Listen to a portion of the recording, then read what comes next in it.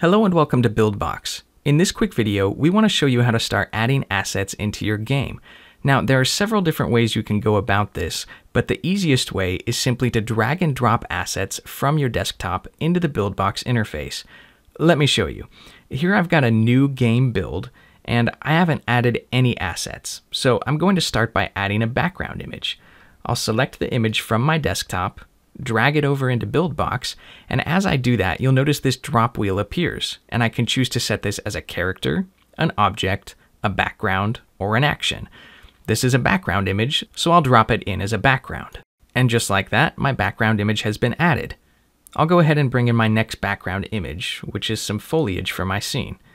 I'll drag that over, and again I'll select background, and this image was added successfully but it looks a little bit strange to have these plants just floating in air.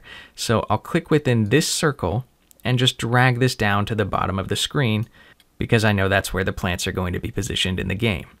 Finally, I'll add my ground layer background image. So I'll just drag that in again, drop it in as a background, and then move this to the bottom of the screen. And just like that, I've created my game background. Now let's add an obstacle to the game, like a box. So I'll go ahead and grab this box image and I'll drag this over and I'm going to set this as an object. So I'll drop it into the object section and it appears in my scene. Again, I can just click within this frame and drag it to where I want it to appear.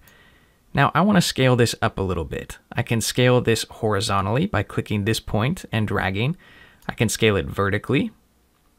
And I can also scale horizontally and vertically simultaneously by clicking and dragging this corner point.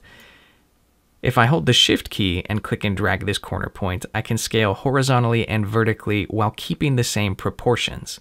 Finally, if I want to rotate this object, I can simply click this round corner point and drag to rotate the object. This gives me full control over the object and allows me to position and resize the object to appear exactly the way that I want it to within my game. Now let's add a character to our game.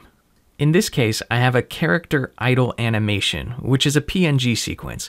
So I'm going to drag all the images in this PNG sequence over on top of the BuildBox interface, and then I'm going to drop that into the character section. When I do that, you'll notice that the character isn't automatically added to the scene. However, on the left-hand side in the Assets bar, if I expand this character option, I can see the character we just added here and click and drag them to my scene and again I can position and resize my character as desired. Finally, I'll add a power up to my scene. So I'll bring in the image, and then I'm going to drop this in the action section. Now in this case, you'll notice that the power up image is much larger than everything else in the scene. And the reason for that is that we provide a lot of high resolution files with your copy of BuildBox, but because these files are such high resolution, sometimes they might appear a little bit too large for the scene when you drop them in. So it's important to scale everything proportionately to make sure that it fits with the rest of your game. So I'll scale that down and position it to where I'd like it to appear in the scene and I think that looks a lot better. So just bear in mind that you might have to rescale the images to make sure that everything appears proportional. It's also important to point out that each different type of asset in the game has different settings available. So if I select my character asset, for example, you'll see we have some options to input different animation sequences, we can adjust the sounds for the character, the gameplay effects, as well as the gameplay settings.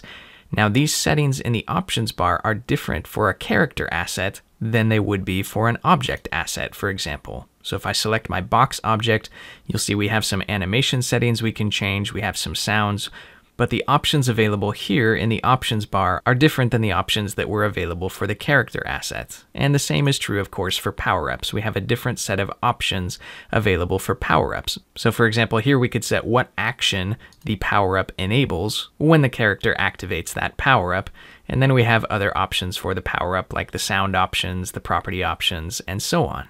In our next video, we'll go into further detail on some of the options available for different assets. Thanks for watching.